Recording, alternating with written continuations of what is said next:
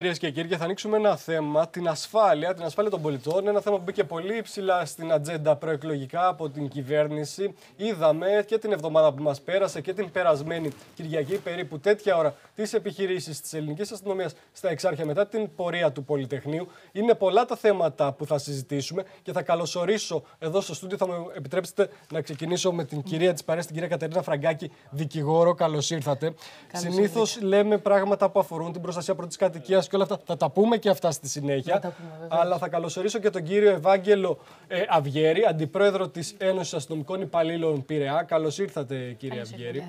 Γεια σας, καλώς σας βρήκα και σας ευχαριστώ πολύ που για ακόμη μια φορά μας δίνετε βήμα στο σωματείο μας να έρθουμε στο σταθμό σας και να προβάλλουμε κάποια από τα προβλήματά μας κι εμείς.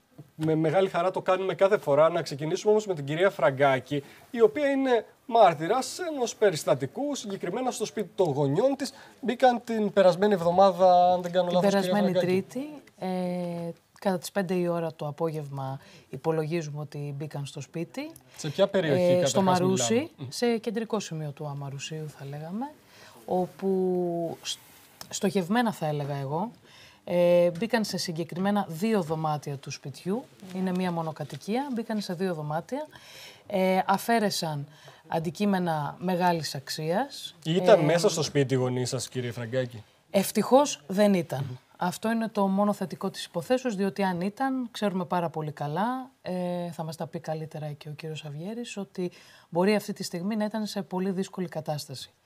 Ε, αφαίρεσαν λοιπόν κοσμήματα, ε, πράγματα αξίας ε, των παππούδων μας, τα οποία πέραν της αξίας που έχουν ε, βεβαίως, έχουν και μεγάλη συναισθηματική αξία, ε, το οποίο με τίποτα θα λέγαμε δεν μπορεί αυτό να αποκατασταθεί.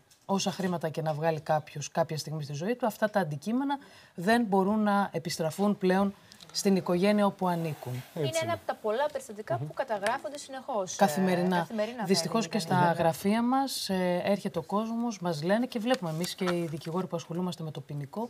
Είναι πάρα πολλές οι κλοπές δυστυχώς που γίνονται, οι ληστείες.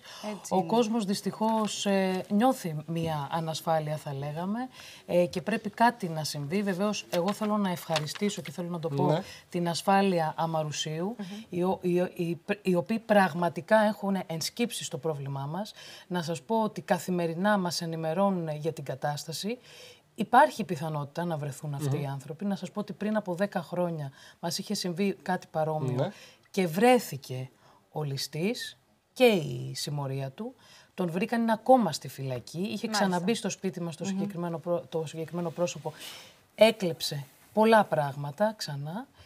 Και ευτυχώς, χάρη στην αστυνομία, χάρη στην ασφάλεια, βρέθηκε και αυτή τη στιγμή είναι στη φυλακή. Ωραία. Κύριε Αυγέρη, βλέπουμε πολλά περιστατικά τέτοια, παρότι το σχεδιασμό έχει αλλάξει καταρχάς στο επίπεδο αυτό ε, σχετικά με την επιχειρησιακή διαδικασία που κάνετε εσείς και την αστυνόμευση ενδεχομένως κάτι. Ε, λοιπόν, καταρχάς ε, πρέπει να πούμε ότι όντως το Υπουργείο Προστασίας του Πολίτη τους τελευταίους μήνες έχει μια γενναία πολιτική και δυναμική πολιτική όσον αφορά την καταπολέμηση των εγκλημάτων. Ε, νομίζω ότι όλοι οι αστυνομικοί δουλεύουν στο κόκκινο και τους τελευταίους μήνες ειδικά και με σκοπό να αποκαταστήσουν πιθανά προβλήματα τα οποία υπήρχαν. Προβλήματα είτε που ήταν ε, νομικά και δικονομικά, όπως το πρόβλημα που υπήρχε με τον κώδικα ποινικής δικονομίας και με τον ποινικό κώδικα τα οποία τώρα αλλάζουν. Ε, επίσης είχαμε ένα πολύ μεγάλο πρόβλημα που αφορούσε όλους αυτούς τους Εννοείται τώρα για κακοποιούς. να το πούμε συγκεκριμένα ότι με, το, με τις αλλαγές που έγιναν στον ποινικό κώδικα από την, περασμένη, από την προηγούμενη κυβέρνηση, τι γίνονται, δηλαδή πιάνατε έναν ληστή για παράδειγμα τους ανθρώπους που μπήκαν στο σπίτι της κυρίας Φραγκάκη και γινόταν τι. Μπορείτε να συνεισφέρετε κι εσείς σε αυτή την κουβέντα. Θα σας απαντήσω συγκεκριμένα.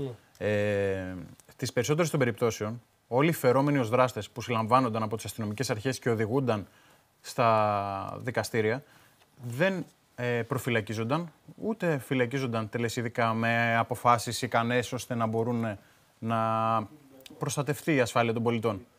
Ε, και τις περισσότερες φορές, ενώ πιάναμε οργανωμένες συμμορίες ή εγκληματικές οργανώσεις, αυτοί σε άμεσο χρονικό διάστημα αφήνονταν ελεύθεροι. Σε αυτό θα πρέπει να τονίσουμε ότι παίζει πολύ μεγάλο ρόλο η αύξηση της εγκληματικότητας, η μεγάλη έλλειψη αστυνομικού προσωπικού που υπάρχει στα τμήματα ασφαλείας.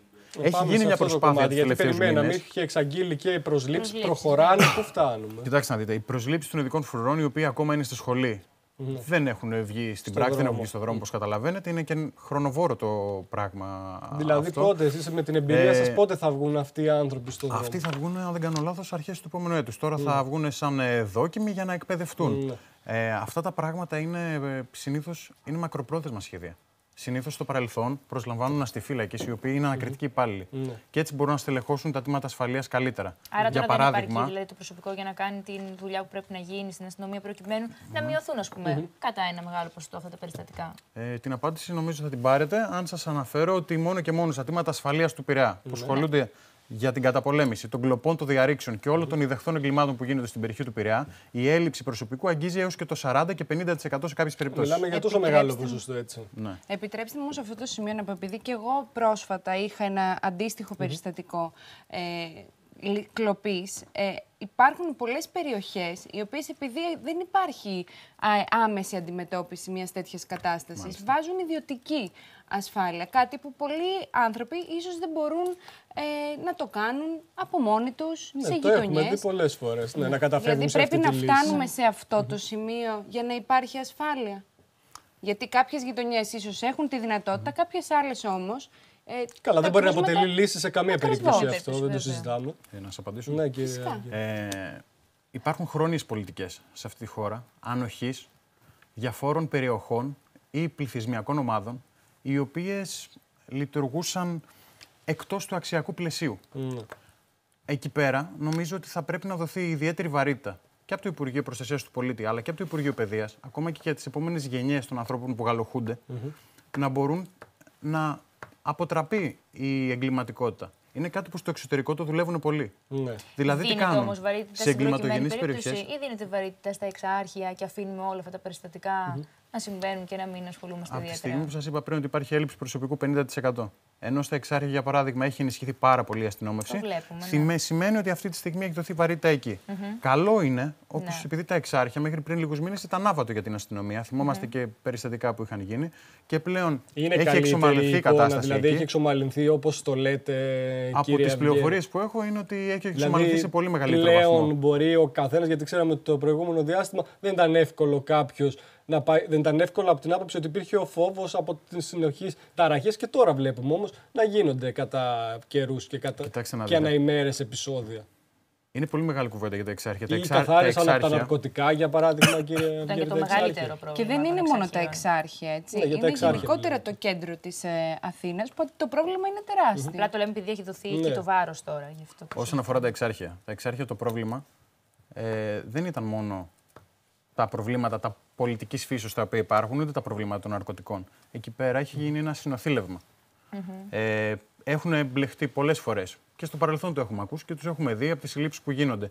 Διάφοροι ποινικοί κρατούμενοι με διάφορους ιδεολόγους της περιοχής και έχουν δημιουργήσει ένα επικίνδυνο κράμα. Αυτό προσπαθεί να καταπολεμήσει η κυβέρνηση. Το θέμα είναι, θα μπορεί να δοθεί βάση για την εγκληματικότητα σε περιοχές που εξάγουν εγκληματογόνα στοιχεία. Για παράδειγμα. Για παράδειγμα, περιοχές της Δυτικής Αττικής. Πώς βλέπουμε ότι η Δυτική, Αττική έχει, η Δυτική Αττική έχει μικρότερη εγκληματικότητα, όταν γνωρίζουμε ότι πολλοί από αυτούς που μένουν σε περιοχές της Δυτικής Αττικής κατευθύνονται στα βόρεια προάστια που κάνουν κλοπές και διαρρήξεις, στα νότια ή στον Πειραιά. Έτσι Αυτά είναι πράγματα τα οποία νομίζω ότι το επόμενο χρονικό διάστημα θα πρέπει να εστιάσει το Υπουργείο Δημόσιας Τάξης, το οποίο ήδη έχει ενσκύψει πάνω στο πρόβλημα αυτό. Έχουν ενδυναμώσει πάρα πολύ την ομάδα Δίας, και αυτό πρέπει να το πούμε, η οποία δουλεύει στην πρώτη γραμμή του εγκλήματος.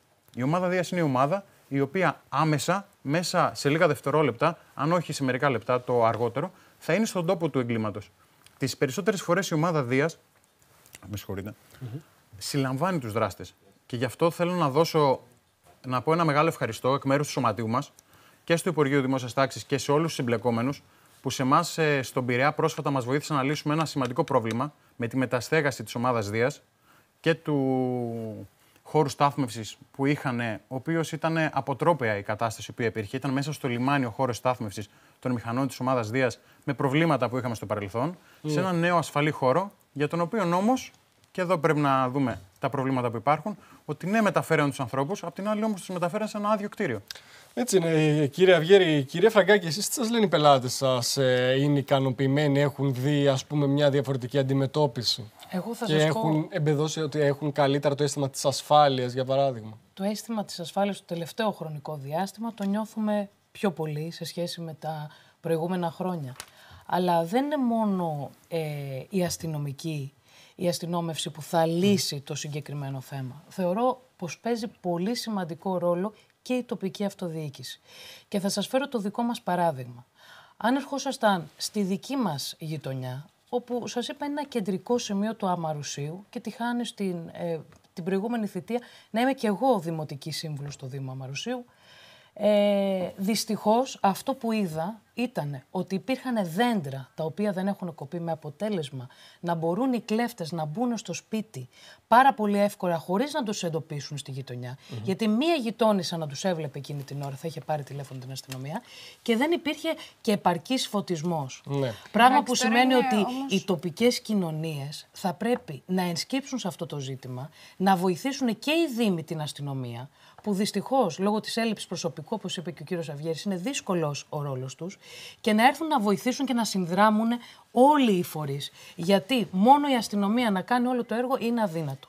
Θα πρέπει όλοι να βοηθήσουν και ο ίδιος ο πολίτης, δηλαδή να υπάρχει ασφάλεια στο σπίτι, να υπάρχει ένας συναγερμός, να υπάρχουν φωτογραφημένα τα κοσμήματα που υπάρχουν στο σπίτι, ώστε σε περίπτωση κλοπής να μπορέσουν να τα δώσουν στην αστυνομία και με την έρευνα που κάνουν, πολλές φορές βρίσκουμε, βρίσκουμε τα τιμαλφή κατά αυτόν τον τρόπο. Ναι, κύριε Φραγκάκη, έτσι είναι. Ε, κύριε Αυγέρη, πριν κλείσουμε και σας αποδεσμεύσουμε, θέλουμε και ένα σχόλιο γιατί δέχεστε μεγάλη κριτική για την αστυνομική καταστολή. Ότι έχουν αλλάξει τα πράγματα στον τρόπο που αντιμετωπίζετε τα πράγματα. Ειδικότερα μετά την, ε, τη 17 Νοέμβριο που είδαμε και την επιχείρηση αστυνομίας στην περιοχή των Εξαρχείων και μετά την πορεία, υπήρξαν αρκετές καταγγελίες για, για ξυλοδαρμούς από τα ΜΑΤ σε απλούς πολίτες.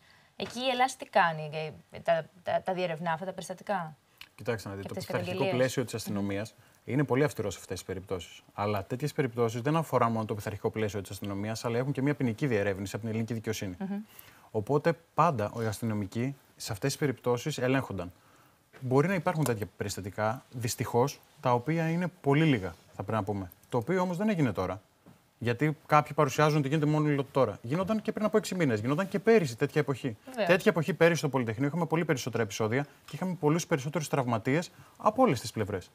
Εμείς, για μας, θέλουμε να έχουμε όσο δυνατόν λιγότερους άνθρωπους που να τραυματίζονται. Και συναδέλφους μου, αλλά και Έλληνες πολίτες. Είτε κάποιος είναι παραβάτης του νόμου, είτε κάποιος είναι ένας ευυπόλοιπτο πολίτης. Εμείς δεν έχουμε κανένα σκοπό να πηγαίνουμε να τον τραυματίζουμε. Δεν πηγαίνει κανένας αστυνομικός με αυτό το σκοπό στη δουλειά του.